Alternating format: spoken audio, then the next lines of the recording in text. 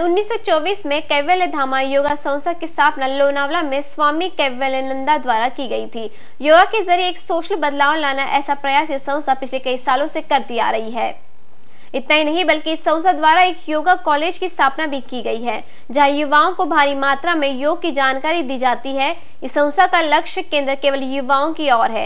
युवाओं को योगा का महत्व समझाया जाए और योगा की जानकारी दी जाए तो उसके ज़रिए पूरे देश में योगा की जानकारी तथा उसका महत्व सभी तक पहुँच सकता है, ऐसा कहना है केवल धामा योगा संस्था के प्रवक्ता सुबोध तिवारी का।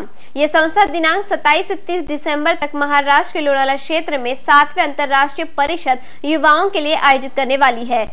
इस परिषद के ज़रिए युवाओं को प्राचीन संस्कृति से जुड़ाने का प्रयास भी किया जाएगा। मेरा नाम सुबोध तिवारी है और मैं ये अंतर्राष्ट्रीय सम्मेलन का कन्वीनर हूँ।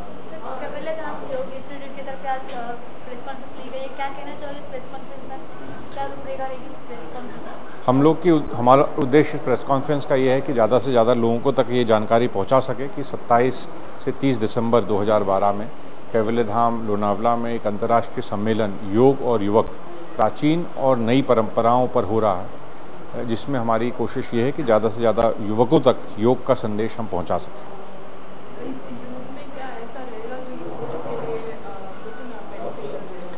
हाँ जब आप लोग इस सम्मेलन की पूरी जानकारी देखेंगे जो हमारे वेबसाइट पे उपलब्ध है कैवल्य धाम की तो देखेंगे कि हमारा उद्देश्य यही है कि योग का प्रभाव युगों युग युवक पर मानसिक और शारीरिक रूप से क्या होता है। और इसको वैज्ञानिक अनुसंधान के रूप में और दार्शनिक मतलब साइंटिफिक और फिलॉसफी के रूप में पहुंचाना चाहते हैं।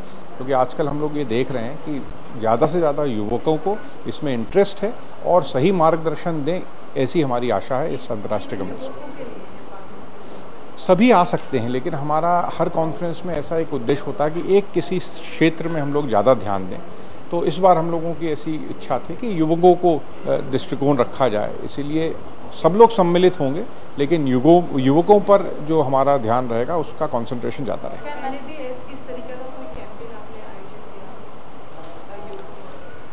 हम लोगों की संस्था को भी अट्ठासी साल हो गए हैं और हमारे पूरे आठ दशक से ज़्यादा हम लोगों का ये प्रयत्न रहा है कि योग हम युगों में पहुँचाएँ। ये एकमात्र संस्था है भारत में जिसको मिनिस्ट्री ऑफ़ एचआरडी जो ह्यूमन रिसोर्स डेवलपमेंट है, उससे ग्रांट मिलती है। तो इसलिए हमारा और मिनिस्ट्री का उद्देश्य यही है कि योग को यंगर जनरेशन में पहुँचाया जाए। एक बार वो सीख लेते हैं तो उनको ज़िंदगी भर उनके पास रहेगा